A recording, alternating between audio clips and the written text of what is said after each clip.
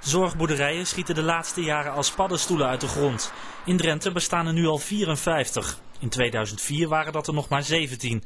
Het aantal is dus verdriedubbeld. Het zijn vooral boeren die naast hun reguliere werk zorg gaan bieden aan ex-verslaafden, mensen met een geestelijke beperking en andere zorgbehoevenden. Het is een aaibare sector. Het, het, is een hele kleine setting waar de mensen naartoe gaan. Het zijn de boer, de boerin, soms een vrijwilliger eh, medewerker. Een klein groepje mensen, vertrouwd. En je hebt werk wat ertoe doet. Op de meeste boerderijen zijn de mensen die zorg nodig hebben overdag op de boerderij bezig met planten of dieren. Maar ze wonen vaak ergens anders. Nijland is enthousiast over de stijging van het aantal boerderijen, maar vreest wel voor wildgroei. Wij werken daar landelijk ook heel hard aan om daar een keurmerk voor te krijgen. Dat een boerderij toch aan minimum eisen moet voldoen, zodat je dat een zorgboerderij kunt noemen.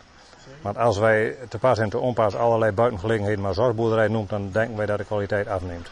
Met 54 zorgboerderijen vraag je je af of er in Drenthe nog meer nodig zijn. Volgens Nijland wel, want jeugdzorg plaatst regelmatig probleemjongeren.